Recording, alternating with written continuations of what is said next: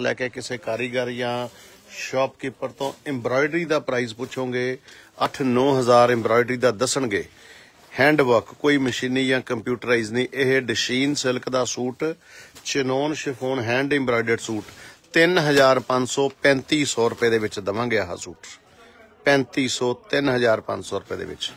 ਆਪਾਂ ਫਾਸਟ ਚੱਲਾਂਗੇ ਰਾਜੇ। 5-7 ਮਿੰਟਾਂ ਦੇ ਵਿੱਚ ਵੀਡੀਓ ਆਪਾਂ ਕਲੀਅਰ ਕਰਨੀ ਆ ਠੀਕ ਹੈ?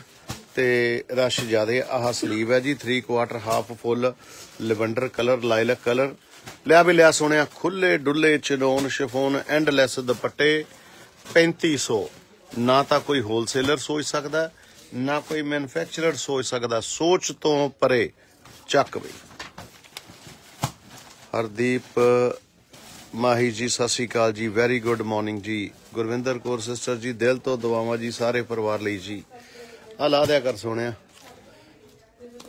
ਆਹ ਚਾਰੇ ਪਾਸੇ ਬਾਰਡਰ ਖੁੱਲੇ ਡੁੱਲੇ, ਚਿਨੋਨ, ਸ਼ਿਫੋਨ, ਦੁਪੱਟੇ ਦੇ ਨਾਲ ਹੈਂਡ ਐਮਬਰਾਇਡਰਡ ਸਿਰਫ 3500 ਪ੍ਰਾਈਸ ਪਾਤਾ, ਚੱਕ।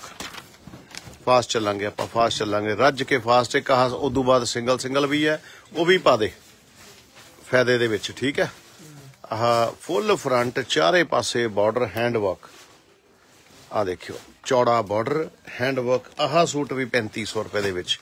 ਖੁੱਲੇ ਡੁੱਲੇ ਚਿਨੋਨ ਸ਼ਿਫੋਨ ਦੁਪੱਟੇ ਦੇ ਨਾਲ 3500 ਦੇ ਵਿੱਚ। ਪਾਸ ਚੱਲ। ਸਰਬਜੀਤ ਕੌਰ ਬਨਵੀਰੂ ਜੀ, ਸਤਿ ਸ਼੍ਰੀ ਅਕਾਲ ਜੀ। ਤਹਿ ਦਿਲ ਤੋਂ ਤੁਹਾਡਾ ਧੰਨਵਾਦ ਜੀ। ਆਹ ਡਾਈਂਗ ਕਲਰ ਤੇ ਕੰਬੀਨੇਸ਼ਨ ਰੀਜ਼ਨ ਕੀ ਆ? ਇੰਨੇ ਜ਼ਿਆਦਾ ਸ਼ਾਰਪ ਤੇ ਸੋਹਣੇ ਰੰਗ ਹੋਣ ਦਾ ਕੁਆਲਿਟੀ